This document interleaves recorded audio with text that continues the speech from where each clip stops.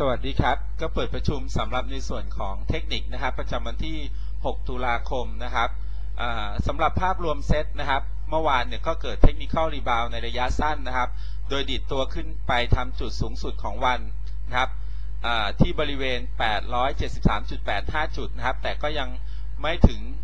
เส้นนะครับ EMA 5 วันนะครับ การดิดตัวขึ้นมาเนี่ยมีมูลค่าการซื้อขายที่ลด น้อยลงนะครับ แนวโน้มเราก็ยังคงมองว่ายังเป็นขาลงอยู่นะครับ ดังนั้นเนี่ยในระยะสั้นนะครับ ก็ยังคงแนะนำเหมือนเดิมนะครับ ก็คือล้างพอร์ตสำหรับผู้เก็งกำไรระยะสั้นจนกว่า จะมีการกลับตัวนะครับสำหรับหุ้นที่เราแนะนำในวันนี้ 4 ตัวนะครับ ก็ยังคงเป็นการแนะนำในลักษณะของการาขายนะครับ ตัวแรกก็คือตัวพฤกษานะครับ ราคาปิดเมื่อวาน 12 บาท 20 นะครับเส้นค่าเฉลี่ย EMA เนี่ยเรียงตัวกันแบบ bearish นะครับ ประกอบกับ indicator ทุกตัวนะครับ ให้ค่าสัญญาณลบนะครับ แนวโน้มก็ยังคงเป็นขาลงนะครับ ก็แนะนำขายนะครับ แนวต้านมองไว้ 12.40 ถึง 12.70 บาท แนวรับก็มองไว้ 12 ถึง 11 บาทนะครับ ตัวทิสโก้นะครับ ปิดที่ 31.75 บาทนะครับก็หลุดแนวรับสำคัญบริเวณ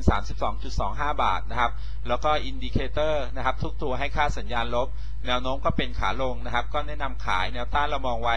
32ถึง32.50 บาท